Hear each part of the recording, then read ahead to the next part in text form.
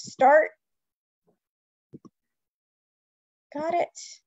All right, we'll give uh, a little bit of time. Hello. Oh, I see people coming in. Welcome. Yes. Welcome. So much looking, oh, looking forward to this. A lot of Cryptid fans. Hello. Hey. Oh my goodness. oh, yay. Hey, everybody. Oh, very cool. Um, we're very excited about this. Ooh. Ooh, see, see, now there's now there's a lot of pressure because you said that, now that you said that this is your first event. Now, now everybody's here, so the um the pressure is on. Good. I'm ready for it. I'm ready for it. No, I'm not ready for it, but I'll take it, I guess.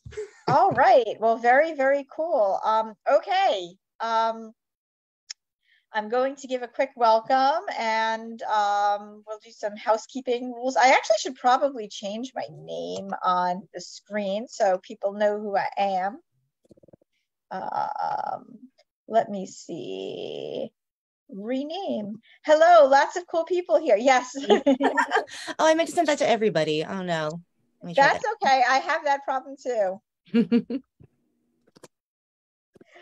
okay, yes. Okay, welcome everybody. This is Jessica. Um, I am really happy to see everybody who has come out this evening for uh, this is technically our final Summer Scares event. Um, and this is really cool because this is one of those books. As soon as I saw it, I was like, cryptids. I love cryptids. Let's do this one. Um, so, um, regardless of how you found us, be it through the library or um, our partners at NaNoWriMo, and you or you just want to know more about cryptids and you you want to know more about the book, uh, welcome. Um, so once again, my name is Jessica. I'm one of the um, librarians at Syosset Library. Uh, my co-host today is Jen, hi. I'm a library aide in media at the library. And uh, we are very excited to be presenting um, J.W. Ocker for this event.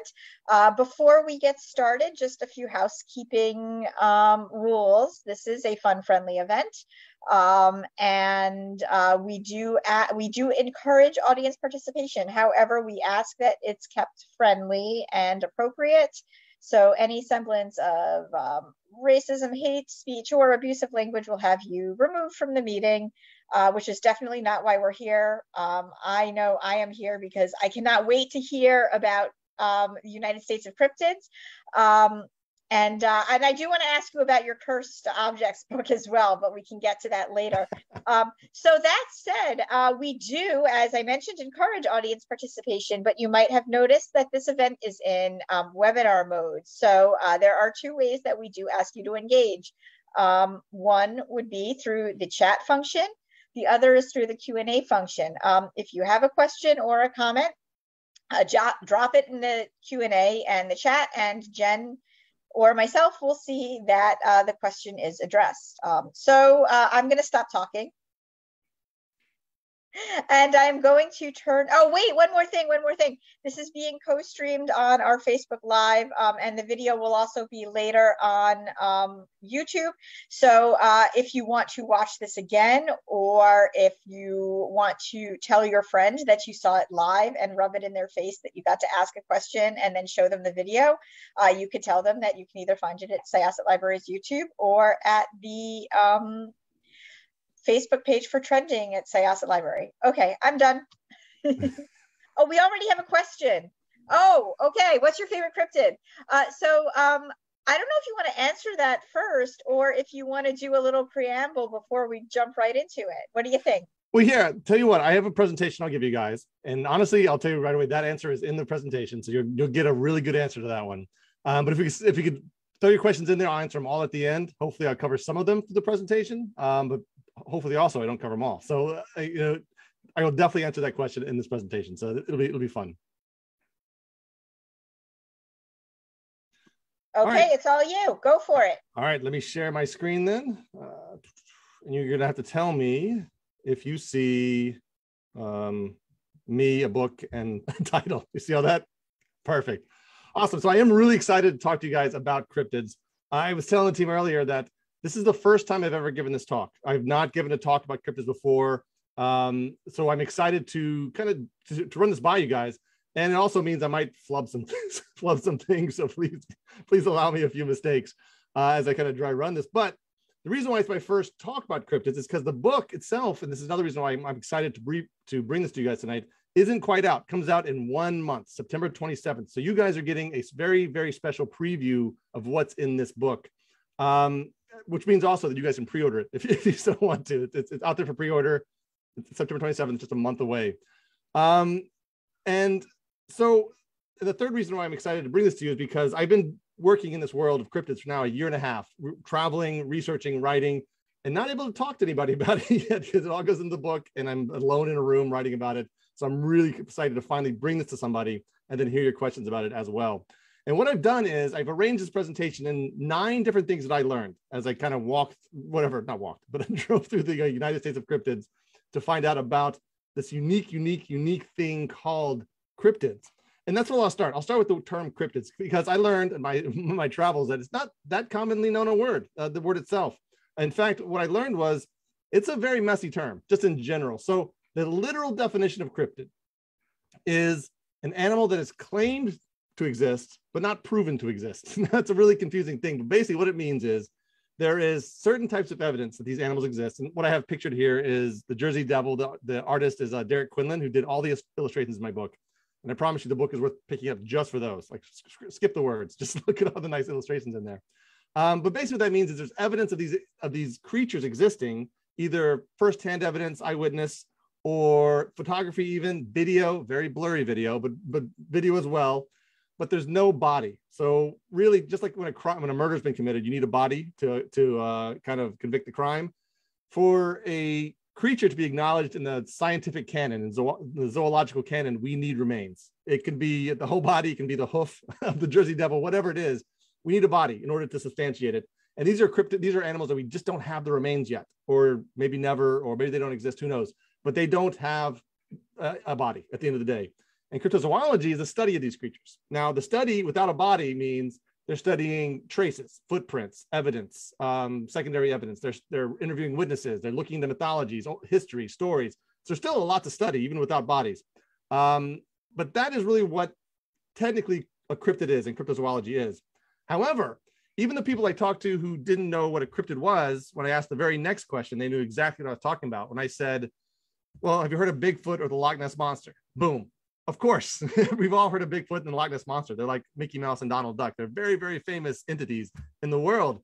And these are cryptids. Um, I, I put these in the category of plausible biological animals, right? Hairy hominids exist. We're in a room full, a, a virtual room full of hairy hominids right now. We're all mam- mammals with hair. So a Bigfoot is pretty plausible as an idea. Lake monsters, water monsters. The earth is 75% covered with water. We do not know what's all in those depths. So that's also a plausible creature. And traditionally, historically, cryptozoology has covered animals like these, creatures like these, that seem to be very plausible that they could exist. There's not nothing like really um, uh, negating the concept right away. However, over the years, over the decades, pop culture has come in and said that's not enough. We want way more things than just hairy apes and uh, serpentine uh, lake dwellers. We want more than that. So the definition of cryptid is really, in pop culture at least, has really widened to encompass all kinds of things. For instance, this is the Wendigo. The Wendigo is a Native American story from the snowy climes of North America, upper United States and Canada. Um, it's it's a spirit, it's a myth, it's a cautionary tale, it's a morality fable, it's a lot of things, very complex things uh, in Native American culture. And of course, when you pull a concept from one culture into another, we end up dumbing it down a lot. And so what we did to the to this concept is we just kind of pulled it across and said, oh, it's a monster. Um, the whole the whole idea of a Wendigo comes out of the idea that you know when you live in those snowy climes, if you don't, if your stocks run out in the middle of those harsh winters up north, you know the temptation to cannibalism is strong, and they they call it kind of being possessed by the Wendigo or going Wendigo. And there's there's stories of people doing that where they were just hungry in the middle of wintertime, no way to get food, and they turned on other human beings and became literal monsters, cannibals. And that's kind of where the Wendigo started. Um, but since then, again, we pulled it into kind of myth. Uh, it started as a myth. We pulled it into more into like the cryptid world uh, because myths kind of go in the cryptid world for various reasons. I'll tell you a big reason here in a second. But some people just say it could be based on a real creature, or it could have been based on a historic creature. Who knows? Um, but that, but the word, but the word cryptid has gone beyond extremely biolog- extremely plausible biological creatures to encompass myths. It's also encompassed things like this. This is the Elephant Man of Pascagoula, Mississippi. It is an alien. Um, it, it and its colleagues came down in a ship and abducted two fishermen in the 1950s in Pascagoula, Mississippi. Um, so, and it gets its name from the wrinkled skin. But again, aliens are technical crypt, crypt, technically cryptids, right? Because they're creatures that haven't been officially recognized by science. Like the idea of alien life beyond the planet is, of course, extremely plausible, like likely, depending on what theories you subscribe to. But the idea of them visiting our little corner of the universe, our little planet, is a little bit more contentious. So, you know, they they kind of fit into the idea of cryptids. There's no body. We have no Roswell aside. You know, we have no remains of an alien. So they kind of fall into that same same world. And in fact, I always think in my head that you know ufologists and cryptozoologists have a lot in common. They kind of drink at the same bars. They kind of cry into the same beers, have the same challenges. Uh, the other parties that also hang out at that bar are paranormalists. So people that believe in ghosts, people that believe in cryptids, people that believe in that UFOs have visited us. They all kind of have the same challenges and, and excitements and interesting creatures. Um, the other interesting thing with the Pascagoula uh, Elephant Man is it's not just an alien; it's a robot so we have alien, an alien robot as a cryptid. Um, it, even though the skin is wrinkled, it's very hard. They floated. Um, they acted mechanically. And then, according to the witnesses, the abductees, the two men that were abducted, when they got pulled into the ship, there were actual biological entities in there. So these were like the robotic henchmen for for the actual, you know, uh, aliens. So we can have robot cryptids in cryptozoology. And in fact, not just one, there is another robot cryptid in cryptozoology that I'm gonna hit on later in the, in the talk. And then finally, besides myths, besides aliens, alien robots, we also have stuff like this um, creatures of uh, fable. This is a pukwudgie, mostly known in Massachusetts, also somewhat in the Midwest. But these are, you know, sentient creatures. They have, you know, they make weapons and they're ashamed of their genitalia, like all decent people are. They just are, you know, elves, trolls, gnomes, or they're kind of fantasy creatures. But there are stories around them. So, you know, people who are fans of cryptids want them in the family as well cryptozoology is very inclusive, very welcoming to all kinds of creatures. So in the end, what I kind of really believe about this phenomenon of, um, you know, adding in a wide variety of creatures, creatures beyond the biologically plausible creatures like Bigfoot and lake monsters, is that in the end, cryptids are monsters, and we love our monsters. Um, oops, went too far. We love our monsters, and we love as, as much variety as possible. Uh, this right here is the snallygaster of Maryland. It's a octopus chicken dragon that was reported a lot back back in the uh, night, uh, early 20th century. But again, anything with a unique shape, a story around it, some kind, at least one eyewitness, maybe a newspaper account, we'll put it right in there. Um, and I don't know what it is about us. We love to collect monsters. I mean, the reason why we put a pantheon of Universal Studios monsters together, you know, we put um, Pokemon, right, that taught entire generations to collect them all. We just like monsters, a variety of monsters. And in my book, uh, in the United States of Cryptids, we have over 70 different creatures uh, in that, and just to show you the wide variety of monsters um, that exist eh, out there or exist out there in the stories. Now, the next thing I want to tell you is what I learned to be the strangest things about cryptids. you know, in a world of, of snallygasters, right? The strangest things I learned about cryptids um, is this: that there are towns that theme their entire world around these monsters. Um, in fact, that's kind of the angle of the United States of cryptids. So I kind of explained the cryptids part, but the United States part, besides the fact that we have creatures from all 50 states in the book, is that we really focused on those towns that celebrated their monsters. So what I kind of do in the book is I guarantee this, I, I, claim it that's the only cryptid book that guarantees a sighting. I, I guarantee you a sighting of a cryptid if you read this book, because it takes you to all the places they're celebrating these creatures. And what do I mean by celebrating these creatures? So in the book, I talk about at least 40 cryptid statues across the US bronze, wood, major civic statues in town squares, not just like collectible mass market statues on shelves. I'm talking major civic events like this one. This is the Gloucester Sea Serpent in Gloucester, Massachusetts. Um, it's right outside the Historical Society, exactly where you think they put a, a bronze pilgrim or something colonial there. Now they put the Gloucester Sea Serpent, which is probably the most documented cryptid in the in the entire canon of cryptids. It was seen for like two years off the coast of Cape Ann, which is where Gloucester is and everybody saw it. There were ship captains saw it, and scientists saw it, and townsfolk saw it, and it was just always there. And there's tons of documentation, tons of of speculation about this creature. And now it has a bronze statue right downtown. That's one way these towns have really celebrated celebrated their their monsters. Second way is uh, I talk about at least 18 cryptid museums uh, across the country. Um, this one is the Monster Mart. This is dedicated to a Bigfoot creature called the Fouke Monster, also the, the monster of Boggy Creek. This was a Bigfoot creature from the 1970s in Fouke, Arkansas, that um, basic Bigfoot story. Although in this case, it's one of the few cryptids ever try to attack a human being. Most cryptids just disappear in the night. This one, the story has actually reached into a house and tried to swipe at a person who was sleeping there on the couch. But that was 1971 about a year later, a movie was made about um, the fouke monster called The Legend of Boggy Creek. And it was kind of fake documentary. It used locals as actors and became kind of um, famous, a cult, cult movie among horror, the horror movie genre fans. And that kind of elevated the fouke monster above other Bigfoot across the country. And the Monster Mart is really cool. It's right in Fouke, Arkansas. You go in there, there's a convenience store part of it because it is a mart. there's a gift store part of it. And then there's a museum part of it with full size Bigfoot. And it's a really, really, really cool spot. Well worth, well worth, well worth seeing if you're ever in fouke, which you have to want to go to fouke to get to fouke, you're actually gonna pass through it. It's very, very an obscure place.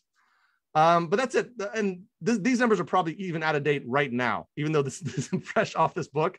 I feel like I hear about a new museum every single week that features that that focuses on cryptids.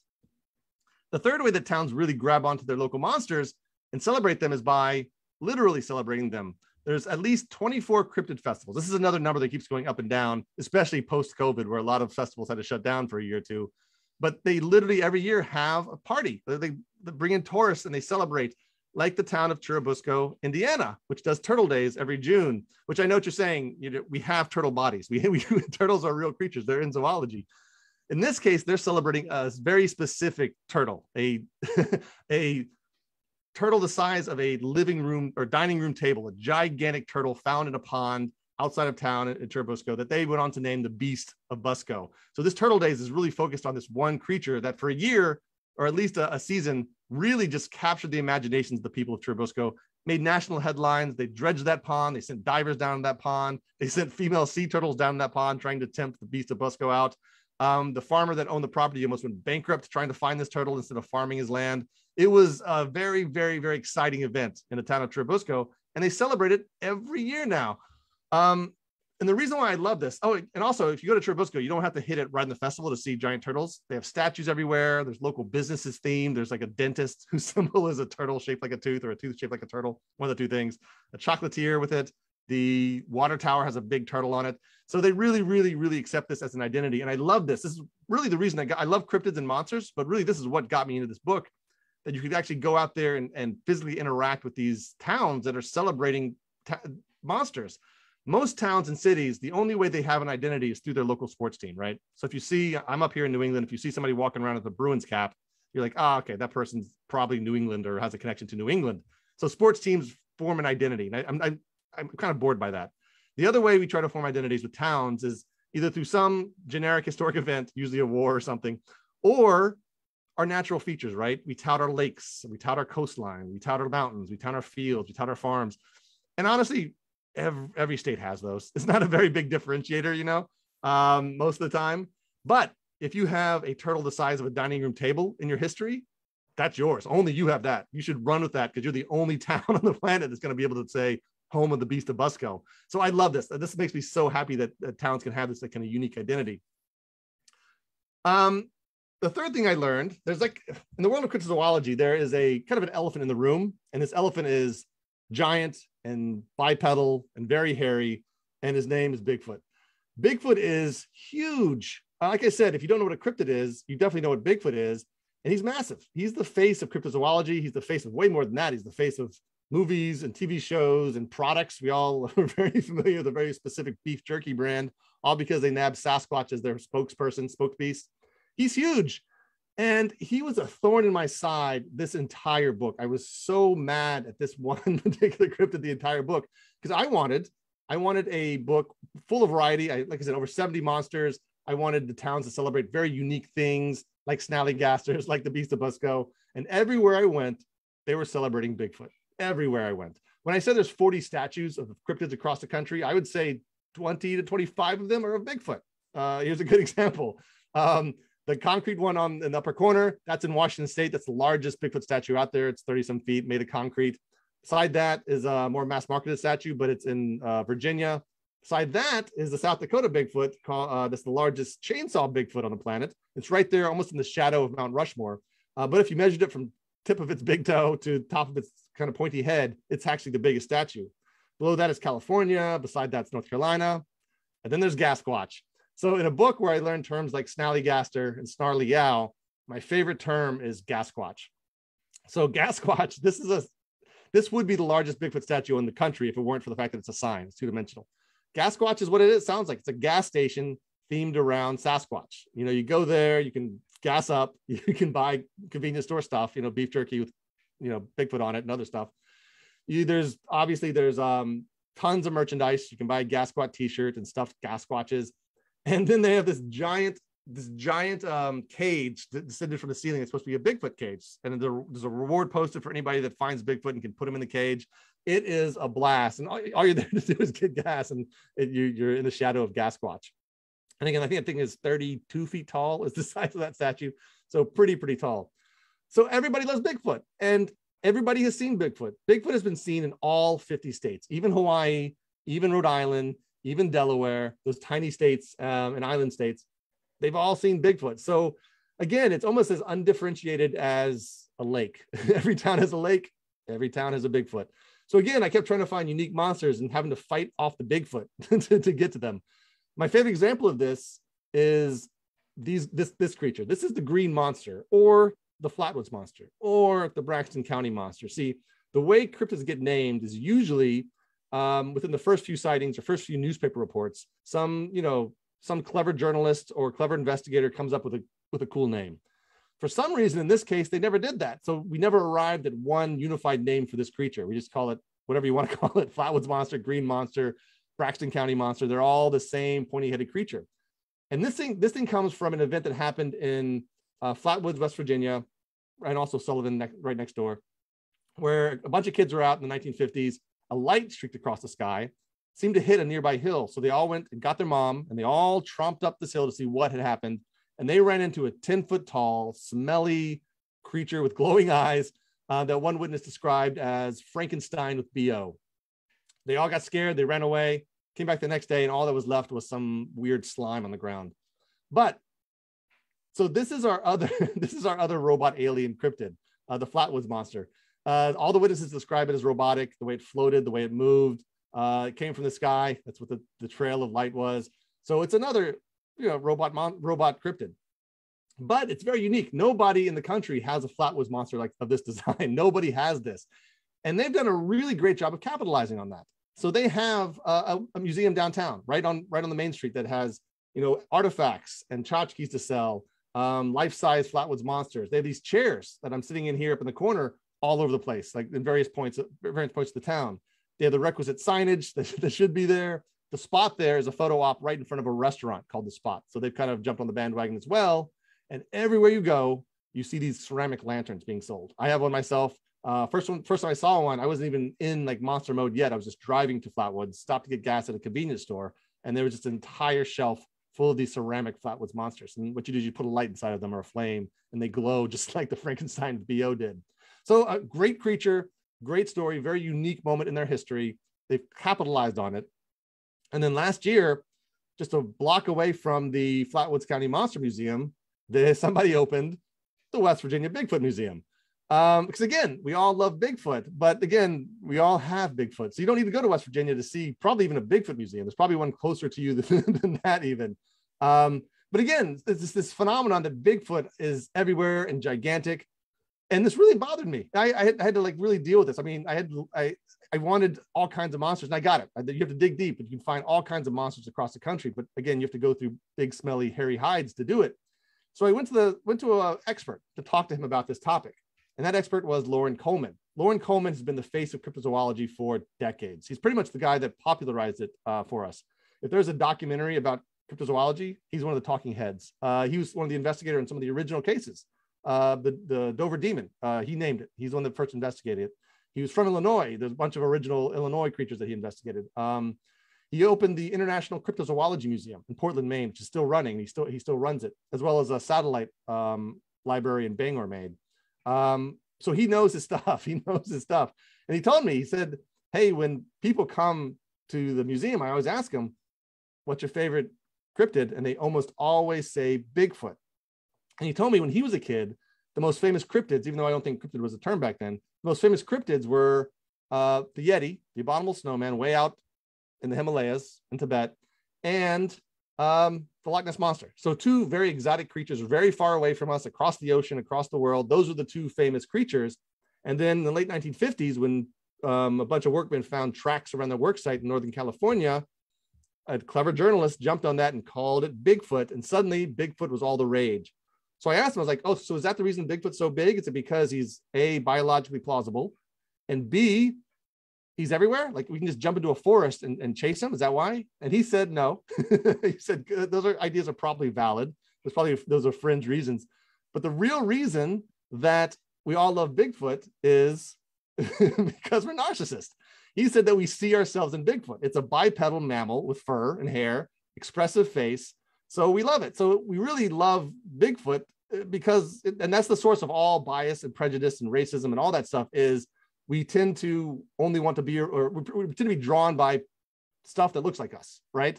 Uh, very specifically like us. So basically, at the end of the day, we like Bigfoot because we're cryptid racists. So that is a very interesting, very interesting phenomenon. I think. I think he nailed it in the head with the narcissism because I thought about that more, and uh, uh, he had very astute, you know, research level reasons for saying this. I am less a student researcher and research driven, um, but I think he's right. And my proof for that is the 1980s movie called Harry and the Hendersons. it's a family fun, family friendly, very funny movie. Jonathan Lithgow, a family hits hits Bigfoot in the Pacific Northwest and takes him home. Of course they do, right? He's cuddly, he's funny, he's a little bit clumsy, he can get a little scary, but they love him, right? Um, and he's he's great, right? You can never have, and here's my proof, right? Uh, you can never have this movie with the lizard man of Scape Ore swamp in south carolina. You can never have the lizard man and the hendersons. It would be a totally different movie. It, it's not cuddly. It's not anything like that. It would be a total it'd be a horror movie. You couldn't have a comedy around that. You also couldn't have the Enfield horror and the hendersons it, it, which is a monster out of illinois. Illinois. Just doesn't work. Only harry and the hendersons works because basically we all want bigfoot to be our friend. That's why he's the most popular cryptid. That's why we're always chasing after him in the forest and, and knocking on wood with wood to kind of draw him out so we're planting beef jerky to draw him out of the shadows. It's because he wanted to be our friend. Um, and it, which is really again narcissism because we see ourselves in Bigfoot. So that was my my my life with Bigfoot. was really just trying to avoid using him in the book as much as I could. And the few times I use Bigfoot is very specifically, and I'll show you one here in a little bit that's related to New York.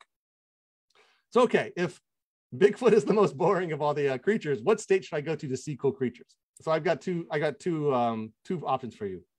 Some and some states do have better cryptids than others, which is what I learned. Some states I had to try really, really hard to find cryptids in their neighborhood that were unique and interesting. Um, like my state of New Hampshire, I had to try really hard to find good cryptids in New Hampshire. Um, but the best state I think is probably Wisconsin.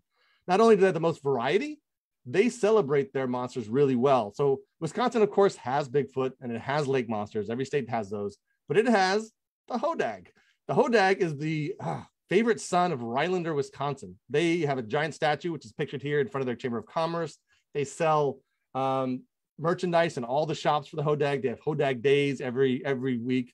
It is they're they love Hodag. If you go to Rhinelander.gov, if you go to their actual their their town website, they don't tell you about the town history or the town geography or the town. They tell you about the Hodag. There are Hodag video games or Hodag clubs to join. They love their Hodag. And the Hodag is basically it's like a panther-sized, very thorny looking creature and it comes from the lumberjack tales. So back in the 19th century, when lumberjacks would go out to fell wood, you know, at nights would get kind of creepy. They'd sit around the campfire or sleep in the tents. They would hear stuff and they would see stuff, and they would kind of give it each different noise and each different idea its own personality. And the hodag is one of the animals that the lumberjacks came up with as they were sitting around the fire telling each other tales. Below that, the Mount Horeb trolls. Mount Horeb loves trolls. They don't believe in trolls, but they love them. So they have a main street that's covered with wooden statues of trolls from three feet tall to 10 feet tall and they call it the troll way. And it's just a, it's they've taken over the town. They are known for their trolls. They're known for their trolls more than anything else they have. Crossing that the beast of bray road. This is a werewolf type creature found in, in wisconsin in elkhorn wisconsin back in the late 70s and 80s and you know people love it. This house is on bray road and they love it so much they erected a beast in their own front yard so people have photo ops. And then the rhinelapus is a very interesting creature. I don't have time to dig into his story but he doesn't have a story this is a meta cryptid. It's, it's actually the next town over from from Rhinelander. It's Minocqua, Wisconsin, and this is just a bundle of roots that somebody found in the swamp, pulled out about 100 years ago, 70 years ago, something like that, put it in front of their shop, painted it, put it in there front of the shop, and called it rhinelapus because it looked like a rhinoceros, elephant, octopus. So they put all the put out put all that together. And these days they've kept it. They've kept it. It's in the town park. They love it. They talk about how it preys on hodags because there's a little bit of rivalry with um, Rhinelander next door. And it's kind of like they have their, they made up their own monster story. They didn't need some kind of like incident in their past to have it. They just just made one, and that's how kind of cool it is, and, and they celebrate it. So Wisconsin's a good one. Uh, West Virginia is a really good one. Uh, we talked about the Flatwoods Monster already. We're going to talk about the Mothman. We'll get to him. Vegetable Man, he's a, a, sentient plant, which we don't really have enough of in our stories, I think. And then the Grafton Monster. So, and again, it has Bigfoot, it has lake monsters. Every town does. But West Virginia is a very good state for uh, strange creatures. And, and now, hopefully, I've kind of redefined their state motto of wild, wonderful for you. Next, um, what else? I the other thing I discovered in the world of cryptids is that Hollywood might have something to do with it, or some of our cryptids. And this is these are fascinating. This is probably my favorite section of the, of the presentation, honestly, because these are some fascinating stories. Um, Hollywood's relationship with cryptids. For instance, this is the Wolf Woman of Mobile, Alabama. The one on the right is uh, is the, the rust colored one is a drawing for, for my book done by Derek Quinlan, who I said did, did all the illustrations for it. The opposite one is the original drawing when the newspapers first reported about the spotting of the Wolf Woman in Mobile, Alabama. So again, if there's a, if a if an eyewitness or a journalist jumps on the drawing, that becomes a kind of our form for its entire life of the story.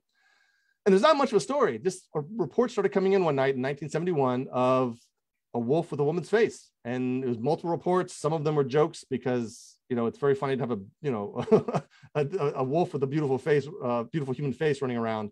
Some of them were scared. Some of them were real calls in, and then it eventually just disappeared. It's a very weird story.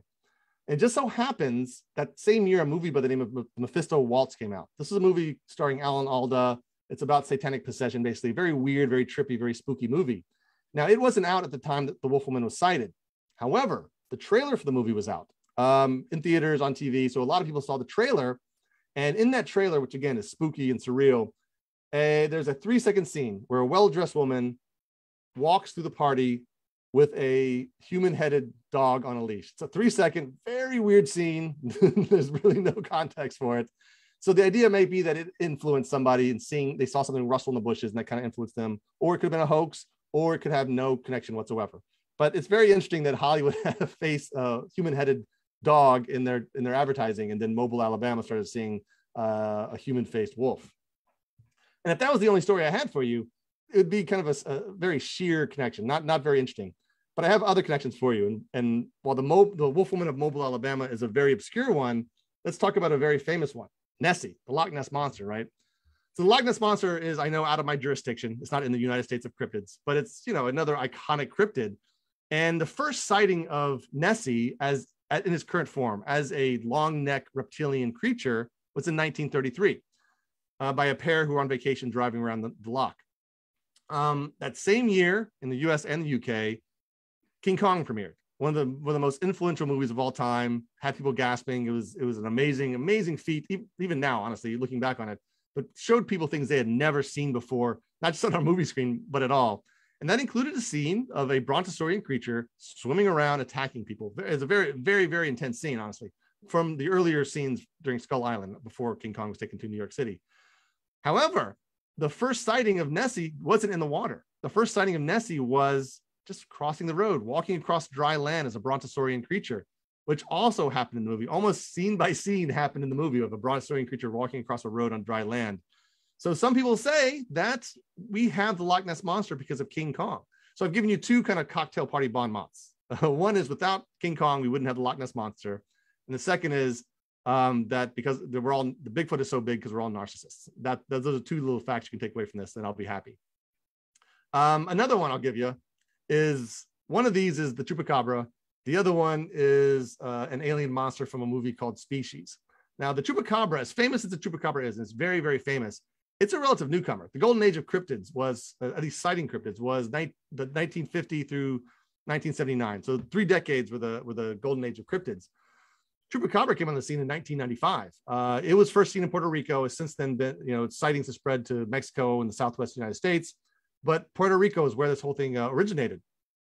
And the first sightings of the first evidence of chupacabra were a bunch of exsanguinated livestock you know, li- uh, livestock who had been drained of all blood, dead in the fields.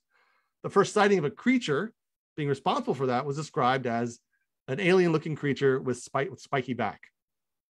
Certain research, certain researchers pressed forward and talked to the eyewitness, and she admitted to us having seen a week earlier a movie called Species about an alien creature with spikes down its back. So again, very interesting connection that could have nothing to do with each other or could have everything to do with each other. Now I have one more example um, that's not skeptical. Like the book isn't skeptical. I'm not skeptical. It's not. It's not my thing. I just I love the connection. But there's a much more interesting connection between Hollywood and cryptids, and it involves this creature, the coelacanth.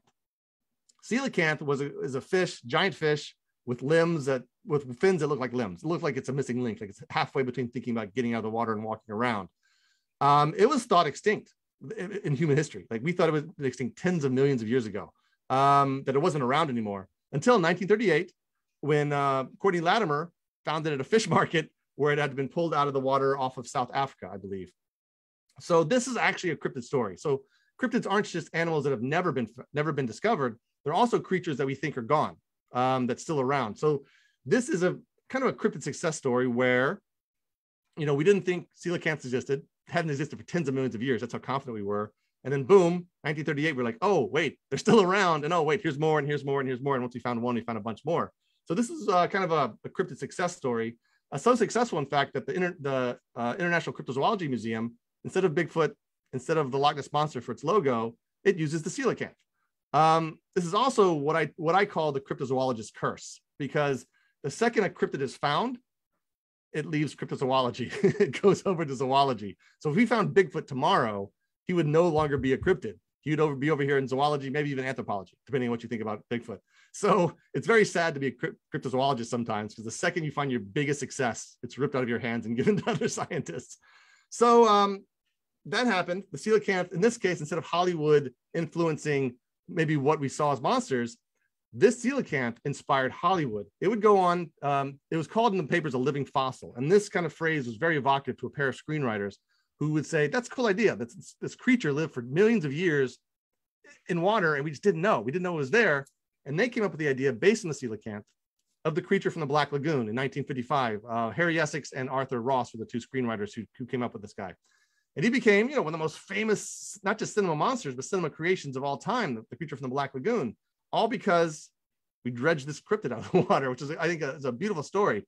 And then it continues because the creature, creature from the Black Lagoon, oh, I can't say it, creature from the, the creature from the, the Gill Man, he came out in 1955, around the time that the Loveland Frogman was first discovered. Now, the Loveland Frogman uh, is a story out of Loveland, Ohio, bipedal amphibious creature uh, that was seen hanging around a bridge one night in the mid 1950s. So the idea might be that the coelacanth inspired the creature from the Black Lagoon, which then inspired its own cryptid, the Loveland Frogman. Although I will say one of the details in the Loveland Frogman case is that they might have been these these amphibious creatures might have been holding metal-looking wands that sparked at the end. So they might have been aliens. They might not have been just missing links. They might have been aliens, or I guess they could have been wizards. Those could have been magic wands. But they were possibly directly inspired by the creature from the Black Lagoon. All right, I have one more Hollywood story to tell you. It has nothing to do with who influenced who. It has, to, it has probably the most interesting cryptid story I heard. Um, if there's a Hall of Fame for cryptozoology, a surprise entrance into it would be this man, Jimmy Stewart, right? Pleasant faced, good guy actor Jimmy Stewart, who never did a horror movie in his life, I don't think. He did a couple Alfred Hitchcock thrillers. The closest he got to a creature feature was probably Harvey, which is about a six foot tall invisible rabbit that he only saw when he was drunk. And he was drunk the whole movie. Um, but he never did a creature feature. He's not a he's not a like a horror icon like Christopher Lee or um, Peter Cushing, right? He's just Jimmy Stewart. He's uh, it's a wonderful life guy. Um, but he's involved in one of the most interesting cryptid papers out there involving this stuff, which is supposed Yeti scalp and Yeti hand. So not Bigfoot, Yeti, over there in Tibet. These are artifacts found in the Pangboche Monastery in Tibet. Um, once upon a time, when you wanted to find cryptids, you couldn't just go into the local forest and bang on wood or plant beef jerky. You had to get an expedition, cross the ocean. You had to get some kind of rich guy to fund your expedition to the Himalayas, to Mount Everest to find Bigfoot. And that's exactly what happened. Um, Edmund Hillary, the guy that topped Everest, went on a few crypt, uh, Yeti expeditions funded by people.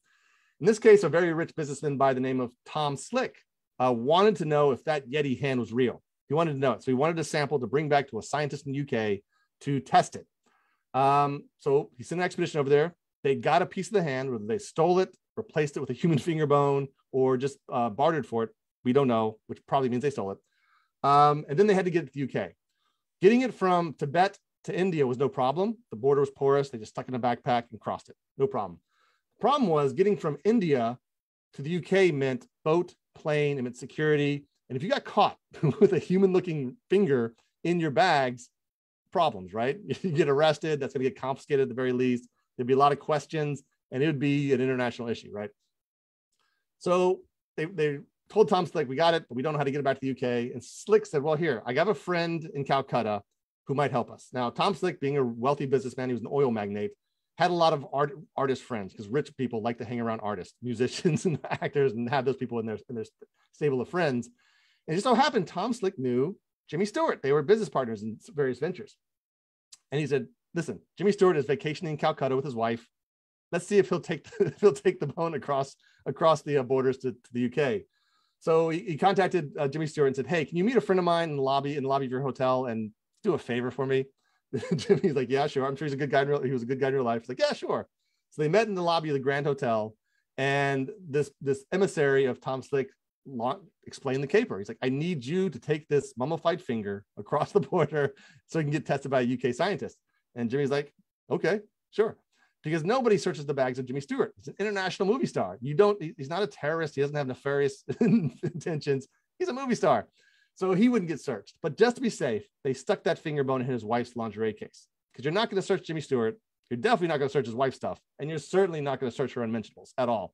So they stuck this Yeti finger in her underwear case and it worked. The caper worked. They went across with no problems. It got in the hands of the UK scientist and he tested it and it came up inconclusive. Didn't know if Yeti or human finger. Then the finger disappeared. Disappeared for years and years and years until after the scientist's death, where they found it in a box of his belongings. So it was about 2008 when they found it, 2007, 2008. So they tested it, and it turned out to be just an ordinary human finger. Unfortunately, except it's no longer just an ordinary human finger. It's the human finger that Jimmy Stewart crossed borders with and smuggled in his wife's underwear case. So almost made it cooler than a Yeti finger, in my opinion. Um, so that's it. That's a really cool. And and this story has been researched in the International Muse- Cryptozoology Museum. They actually have a letter from Jimmy Stewart acknowledging the fact that yes, I did smuggle a Yeti finger across the border from Calcutta to uh, to uh, London to England. So all right, that's Hollywood. I will leave Hollywood now and tell you the original the question that first got shot at us right away. What is my favorite cryptid? And I'll tell you why. So my favorite cryptid is the Mothman, hands down the Mothman. I call it the Wendy's of cryptids, right? Because Bigfoot's McDonald's, billion served, Loch Ness Monster or other lake monsters are, are Burger King. So third place, if that's Wendy's or Chick-fil-A, I don't know, is the Mothman. Four reasons why I love the Mothman. First, it's just a cool looking creature. It's a moth human. Like that's awesome. It's called the Mothman because again, a quick-witted journalist named it really fast and it stuck. Um, the story there is that Batman was very popular there. 1966 was when the first sighting of the Mothman was the Burt Ward Adam West movie or t- TV series was all the rage, so it's pretty easy for him to get from Batman to Mothman, and so it's just a cool creature. The other thing I like about the Mothman it is is that it is a complete arc of a story. Most cryptid stories are teenagers in a car in the back roads at night. They see something with glowing eyes that chases them. They go back, tell somebody, chaos ensues, hunting parties ensues, parties ensue, marketing ensues, and then the creature gets away after days or months or weeks or a year, however long it takes for, that flap to end, and it just disappears. For the Mothman, the story ends with a tragedy. Uh, it ends with the uh, collapse of the Silver Bridge, which spans the Ohio River from Point Pleasant, West Virginia, home of the Mothman, to Ohio. Um, it was December of 1967, almost a, almost exactly a year after the first sighting of the Mothman, which was cited variously throughout that year. Um, there was a faulty I-beam on this bridge. It was full capacity. There was there was all these basically Christmas shoppers just lining this bridge. The I beam cracked, broke. Everybody plunged into the icy Ohio, and 46 people died. And after that, people stopped talking about the Mothman. Um, of course, the obvious explanation for that is they had bigger issues on their minds than a humanoid moth flying around the town. Um, other people say that that's, that tells us that this creature was a, more of a harbinger than anything else, that it was trying to warn us of this imminent disaster year away, in which case it sucked at that, right? It, did, it, it didn't help us solve, uh, fix that tragedy or um, avert that tragedy. But that's the story. Any story that starts with the Mothman being sighted in the back, because again, he has the same story as the rest backwoods, teenagers, red eyes, chases. It ends. It has, it has a nice arc. So anybody that starts that story will end at the Silver Bridge um, tragedy. So it has a nice arc of a story, or not a nice arc, but an actual arc of a story. It has an ending. Third reason why I like the Mothman is that Point Pleasant has really capitalized on it. This is my family at the Mothman statue, which is this gleaming stainless steel creature right in the middle of town, not hidden behind a gift shop, not in some far off, embarrassed park, right in the middle of downtown, right beside the Mothman Museum, which is also an awesome place. They also are host to the Mothman Festival every September, where this town of 4,000 people is inundated by 10 dozen people, basically triples in size for that one week in September, and is the most successful piece of their economy. And this is great. Again, I would never have been to Point Pleasant. I've been to Point Pleasant multiple times, and every single time is because of the Mothman. And I would never have gone if the Mothman wasn't celebrated in this fashion. So it works. Uh, in fact, the, if you remember, I mentioned 24 festivals, uh, cryptid festivals across the country. I would say half of them were directly inspired by the success of the Mothman Festival. Um, they saw what happened to that town, and they wanted to um, replicate that with their own monsters. So those are three reasons: the creature, the story, the celebration, but the fourth reason is immersion. You can actually go hunt the Mothman. Um, if you try to go find where Bigfoot is sighted, it's usually just you know anonymous forest, a stretch of road. It's nowhere interesting where cryptids pop up. But the Mothman was seen mostly around what's called the TNT area. The TNT area was this wild area outside of town, uh, pocked by these giant cement igloos, house-sized igloos that were built in World War II to house munitions, explosives. Um, when World War II ended, the bombs in Japan, the silos were emptied out, and then some, some of them were filled with chemical waste. so some some uh, companies leased them and filled them with chemical waste, which some say is the origin of the Mothman. Um, but you can go today and go investigate them. I took my daughter one night, really after dark, um, spooky as all get out, and wandered around these graffiti-ridden, trash-strewn um, giant silos that are in the wild. So they're still like overgrown in the wild. It's a park now, accessible, very accessible, honestly, or most of these are accessible but still, you can feel like you're actually hunting for the Mothman. I joked when I was writing the book that when I was hunting cryptids, but by hunting cryptids, I meant I was going to the local bar and drinking whatever craft beer they had that was themed after a cryptid. Because for some reason, every local bar, every local brew or local brewery has a beer that's themed after a crypt after its local cryptid. I have a bunch on the shelf behind me actually. But in this case, you can literally go see the lair of the Mothman. So that's why I love the story. All those four elements are just beautiful to me. Um, and he's my favorite cryptid. He hasn't been surpassed out of the hundred more than 100 that I researched, the more than 70 that are in the book. Uh, he's my favorite. All right, I'm going to bust this real fast. I know we're running a little bit out of time, um, but obviously this is a New York sponsored event, a New York Library sponsored event. So I want to talk about some New York cryptids. So you guys got three in the book. That's how you're not the biggest state in the union, obviously, but you guys got three out of us, uh, 50 states and 70, 70 uh, monsters. You got a good bit of them. Uh, granted, the ones you got are lake monsters and Bigfoot, but you guys have very unique ones. Um, First off, you guys have the Whitehall Bigfoot. Now, the story here is not that unique. Bunch of teenagers, backwoods, glowing eyes. In this case, the twist is when they went back to get the authorities, the authorities saw Bigfoot too. So the uh, there's actual policemen on the record saying, "Yeah, we saw it," uh, and it's on Abair Road, which is where I'm standing there. But the reason I have uh, the Whitehall Bigfoot in the book isn't because of the story, because it's a typical Bigfoot story with that one twist. It's because these days you can definitely see a Bigfoot in Whitehall, New York. They have statues everywhere. It's almost like a scavenger hunt uh, on the golf course, in front of the in front of the liquor store, downtown at the park.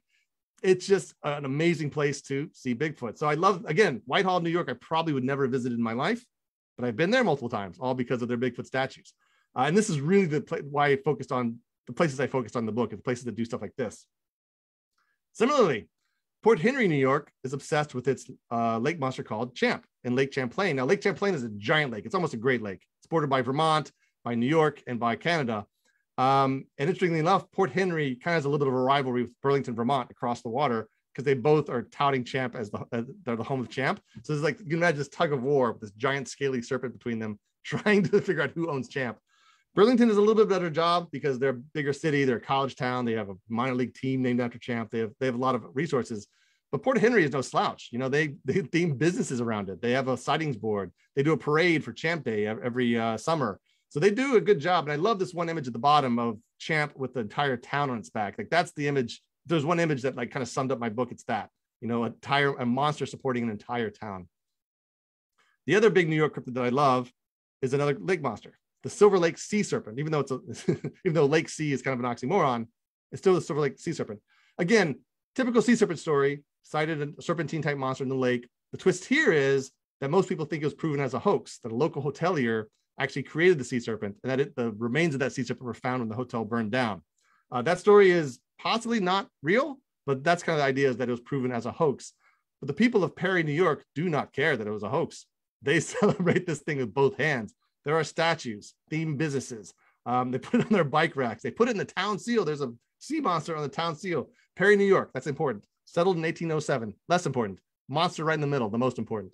Um, so I love Perry for that. Again, I've been to Perry multiple times, all because of this creature. Also because they have a place called um, um, uh, oh man, prehistoric world where they have a bunch of uh, reptiles you can go like handle and stuff. Pretty cool.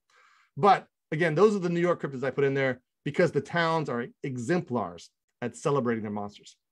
And you should all visit those towns. If you're in New York, please visit those towns. Finally, this is going to be asked to me as well. Do you believe in cryptids? Um, I believe in cryptids. I believe they're real in various ways. So, do I believe they're real as biological entities? Nah. I mean, some are definitely more plausible than others, for sure. I mean, we have the world is 75% water. Who knows what's down there?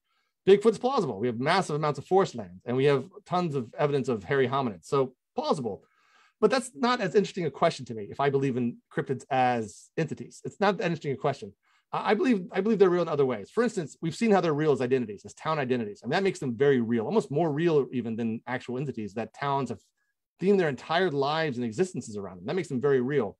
But what I really love about cryptids is even if you don't believe in cryptids, something happened every time there was a cryptid sighting. Um, 90% of my research for cryptids was newspapers, old newspapers, which isn't always the case when I'm researching books. But in this case, something happened in these towns and it happened for weeks and months and years. Something catalyzed you know, hunting parties and newspaper uh, uh, um, uh, investigations and police investigations and people bringing in um, hunters from outside to try to find cryptids. These are historical events. Whether you believe in cryptids or not, the events around the cryptids are absolutely historical and that makes them real to me. Like that is such a, an amazing thing to me that there you can go back to the newspapers and just see accounts of people chasing monsters. And the final way i think cryptids are real are as symbols. Um, i believe they exist as even more as symbols of the natural world than secrets of it. Cryptids are inherently hopeful concepts. So if a person believes in bigfoot what they're saying is i really hope that the, we haven't explored the entire planet, that we've taken all of its secrets away, that we've seen every single animal, that all the big surprises on Earth have been unearthed. Like I, that's a sad state of affairs. It's like the last chip in the bag. Like, oh, we got it all, and we can't leave the planet. This is very boring. So I believe that the people who believe in these cryptids, and I even believe in these as, as hopeful concepts. It's just it's just hope. It's hope that the world is still a very diverse, interesting place, and we haven't just you know zone the entire planet for McDonald's franchises. So I love cryptids. I love everything about cryptids. I love the history of them. I love what they represent. I love and I really love the fact that I can just go to a town and party with a bunch of people celebrating the most improbable creatures on the planet. So that's it. If you want to know more of my ramblings, go to my website, oddthingsi'veseen.com. It's Otis, is my, it's my acronym. You can hear about all my books, my nonfiction, my novels. If you don't want to buy anything, that's fine. There's hundreds and hundreds of articles of my trips to various weird stuff across the country and across the world, including my visits to cryptid towns. So that's it. Again, my first time giving that. I consider it a test run. Uh, hopefully, you got something out of it, though. And I do really appreciate you guys coming. And with that, I will try to stop sharing so that you guys can take over here. That was awesome. Hey. That was absolutely awesome. Oh, great. Um, we do have, so a lot of the questions were answered, and I did make a poll just because it, seemed appro uh, appropriate. Yeah, it was such a great program. Somebody is, first of all, I really apologize um, about the chat. I don't know why it was not open, um, but we did try to bring everything, in, um, all the Q&A in so people could see what they were saying. We had a poll, which was um, what your favorite cryptid is. So let me see. So, I mean, some people threw in what their favorite cryptid is um, through the chat, but the poll said, hang on a second, um, 18% Mothman, 27% Bigfoot, 14% Lake Monster, 0% Creepy Clowns. I had to put that in there. Technically, are Creepy Clowns really, like, would you consider them a cryptid? I wouldn't, but they are being, so that's funny you say that. Loren Coleman, that's one of his specialties, is investigating creepy clowns. So it, Huh. in all, in all, like in all the elements, it basically functions like a cryptid for sure. yeah. we really need to like contact that guy because I want to know what his uh his research is on that. He's okay, great. He's we have nine percent chupacabra, fourteen percent Jersey Devil, and then we had others. Jen, do you want to read some of the others? And then we have a really good question in the chat. Yes. Um, let me go back. Yeah, on the um, let me see. I'm sorry. Pukas came up a lot, I remember, and those were really fabulous. I'm glad that Harvey was brought up. um, oh, that's a good. The Golden Age of Cryptids question is a good one. Like, why mm-hmm. did I mm-hmm. call it the Golden Age of Cryptids? So most of the cryptids that we know today were cited between, you know, in the 1950s, 60s, and 70s. That was when most of the news reports came out. And then, of course, there are articles that go farther back, the 19th century even. Um, but a lot of times, what would happen is the flap would happen, let's say in 1965, and then in researching that creature, they would see, oh, there are there are other there are um, other stories pre pre um, predating this story about some of the creatures, like chupacabra, right? 1995 Puerto Rico. But once they kind of once that creature was kind of out in the open, they started researching it and found something called I can't remember the town name in Puerto Rico, but they called it that town vampire, and it was in the 1970s, and it had a very similar mo where it um, drained the blood of creatures. So really the the the, excite, the the American sightings that really kind of formed the idea around cryptozoology all happened in the 50s, 60s, and 70s. And then Bigfoot is a good example because Bigfoot though didn't really come around to the late 50s. That's when they was first named Bigfoot. And so the 60s and 70s was an explosion of Bigfoot sightings after that. That's really uh that's um really interesting. Um let's see. Were there any other questions? Because um there's yeah. one from Stacy. Um, which cryptid was the hardest to get information about for the book? And I think that is a good question, like kind of about your research, like where were the the, the most challenges? Yeah, so there's a few cryptids that I that I called um one night stands where they appeared one time, maybe even one witness, and that witness is the only real source. And that that would happen. So that happened in New Hampshire, right? So I'm in New Hampshire. I'll, I'll bust on New Hampshire we have like three cryptids. One's Bigfoot, one's, one's a lake monster. And I was like, I can't, I have enough. I, I have like four or five Bigfoot. That's enough. That's too many. Um, so I found um, something called, uh, I just, it, it, just left my mind. Um, but it was, it was, uh, one guy went out, went out during Christmas to chop down a Christmas tree. So I call it a Christmas cryptid. And while he was out there, discovered a creature that looked kind of like ET, wrinkly skin, very squat, long, long basset ears, which is not ET like, but long basset ears. And he saw it. It screamed at him. He screamed at it, and then it took off. They started each other for like a long time. Then they screamed and took off. And that was the only sighting of the creature. But that was interesting. And then he, that was interesting enough to me to put in the book because not just was it a u- unique creature that doesn't appear anywhere else in the country, he would go on to talk to a bunch of actual uh, famous astrophysicists about the creature. So there's a story beyond the actual sighting.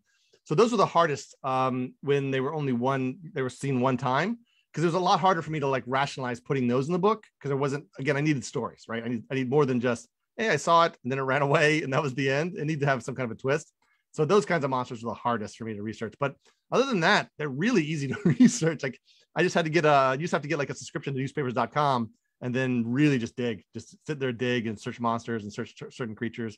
Um fortunately the cryptids are a very very internet friendly topic. You know that's where people love them. They artists are drawing versions of them. So it's easy to find um, a wide array, wide array of cryptids. It's just digging digging down and finding the truth of what actually happened around those cryptids is a little bit more um, strenuous. We have a question um, from Roger. Any cryptids abroad that you might pursue? Oh, abroad. Uh, so obviously, so I've, I've traveled um, uh, 14, 15 countries, all 49 lower states. I'm missing Alaska. Um, and yet I've never been to Loch Ness. I that's I've been to I've even been to Edinburgh, and I still have not been to Loch Ness. So it's like a childhood dream. So I discovered chi- uh, cryptids as a child, reading like John Keel books, and my mind is like, oh, I can't wait to one day go to Loch Ness. And here I am, decades later, and now now now uh, you know I know a lot about cryptids as, as as a result of just loving them and then writing this book. And I still have not been to Loch Ness. And if I die without going to Loch Ness, that's going to be my biggest deathbed regret is I never made it to Loch. So I know it's a boring answer because it's a really easy one, but I have to go see that. I can't like I like um in the in the PR for the book from the publisher they'll, they'll call me a cryptid expert and I really cannot take that title until I go to Loch Ness. I have to get there. We have a really great comment from Heather. Newspapers are the best. I love reading old newspapers for research. Also, I loved he screamed at it. It screamed at him. Apparently, the cryptids are afraid of humans too. I do not blame them, Heather. yeah, so that, that's something I discovered as well, and I probably should put that in as a as a point in the in the presentation is that cryptids nobody nobody's ever attacked by a cryptid in any of these stories. Very rarely. There's probably two or three two or three stories of attacks, but normally it's it's a matter of them just eluding capture. They're they're running away from us. Like we're kind of the monsters in this scenario. So very very rarely, even the most scariest um, creatures out there, very rarely attack. Uh, some of the some of the exceptions are that one Bigfoot and Fouke. The Snallygaster is supposed to have grabbed a man and took, taken him up to a hillside and eaten his guts out. Um, but the newspaper-based accounts, people hurt themselves. Obviously, there's definitely self shots and trips, trip, tripping over stuff and all kinds of stuff like that. But um, cryptids are rarely dangerous. They just kind of want you to stop chasing them. um, let's see, is there anything else? Oh, uh, Roggen wolves were um, mentioned also. Um, Germanic or origin um, Feldgeister. No, that's that's out of my jurisdiction if it's German. But if it's if it's another if it's, if it's another Wolfman, that's that's another great one where there's a lot of different kinds of wolf human creatures. I talked about the Beast of Bray Road in Wisconsin, but Michigan has a giant myth around dogmen, which is just another, you know, canine human. And Europe has those. And again, that's in our classic monsters. We kind of put those with vampires and mum, whatever living mummies. But there are accounts of humanoid animals or humanoid uh, dogs or wolves uh, scampering about the world.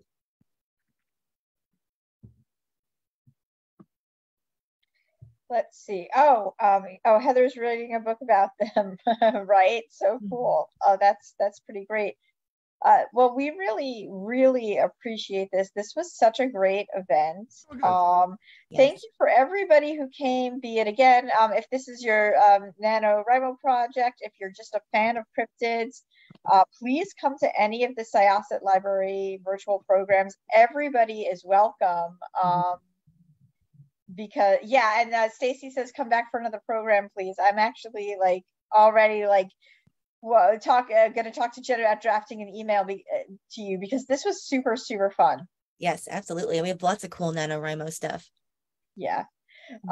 um yeah and um if you're interested in the book um obviously it's going to be available. Uh we do um have a local bookshop called theodore's so if you're local uh Theodore's is great. um, but if you're not, please, uh, wherever you get your books, because this is super fun. Um, I just had one more really, really. Oh, Laura says, Thank you, JW, for the great presentation. Really interesting and entertaining. If this was your first go around, I think uh, you set you set the bar pretty high. it's, it's a fun topic, you know. I love talking monsters every time.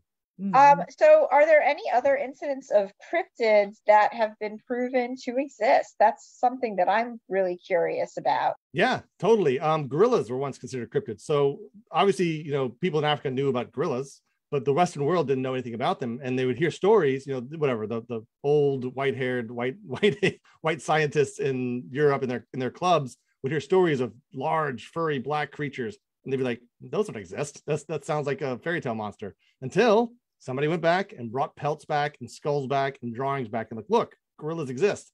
The okapi is another one where it was kind of fabled to exist before it actually existed. Um, there is actually quite a few, like any, and it, it makes sense, right? Because usually the first time a creature is discovered, it, it, somebody else knows about it. Somebody else has seen it. There's rumors of it. Um, the uh, um, so it's, it's the world at large that needs to accept it, right? For it, for the scientific community at large. So generally, people have seen their local creatures it's just you know whatever. The rest of the world has to be like okay we we agree to platypuses were kind of cryptids at one point yes. to the point that literally scientists would have taxidermy platypuses in their hands and say there's no way this is a real this is a real animal. You guys made this thing out of pieces didn't you? Like they couldn't even believe the remains. That, that platypuses is so weird. That's a great example of one for sure. I had a question about one too. Like have you uh, encountered any like um like fake cryptids and i'm thinking of stuff like the fiji mermaid you know one that was like sort of a, sh- a sideshow exhibit but that was like proven to be false you know yeah so i talk so fiji mermaids are great i i love seeing those things and, uh, and there's a bunch in the cryptozoology cryptozoology museum as well the one i use in the book is the um, jackalope which is the the rabbit with antlers which you know doesn't exist. Like it was, it was literally invented by a pair of hunters and taxidermists, and they it's, it's that, that history is fully out there. But there's tons of towns that theme themselves around jackalopes. Uh, of course, some of course the source there's always been like horned rabbit myths, but generally, and this is the sad part of the story. I don't mean to bring it down for you. Those are those are um, creatures with a very specific type of cancer, where you know the bone keeps growing out of their heads, and these are these were cited and drawn and thought they were actual creatures back in the early days of, of, of, zoology. Um, but these days, the, the cute ones we see that are mounted and put on restaurant walls, those are total fabrications that, you know, people don't care. They, we love jackalopes. There's entire, like I said, towns that have statues at every crossing that are jackalopes and themed restaurants that are jackalopes. But that's my favorite. Well, the Fiji mermaid is my favorite. But as far as American ones go, um, the jackalope's are a great one. Awesome. Thank you. Oh, I just yeah, somebody um ha, we we had um just so much so much praise for this. This was really just super super fun. Um yeah, I I just this was great. Thank you so much. I I really would love uh somebody um uh, says, um, I would love a whole set of these whenever JW is available to present. So much fun from half a world away. Um, we love international guests. It is always so cool to us when we have people who are not local um, visiting us. Uh, I'm just trying to think that I had one more question. Oh, right. Like, so I don't know about this, but I've heard that, um, like, there's like, what are they like?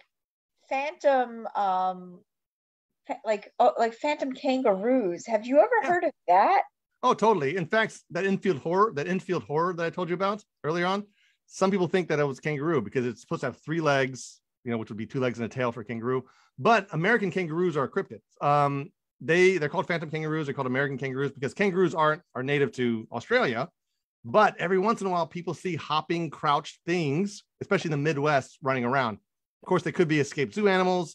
Um, they could, which is also if they escape and thrive as a population, they still are cryptids until they're acknowledged. But they're called, in fact, they're called. Um, this is my favorite acronym: out of place species. So, oops is what they're called when you find like a kangaroo in America. So it's almost like God dropped the dropped the animal in the wrong place, and it's like, oops. That's kind of the acronym is.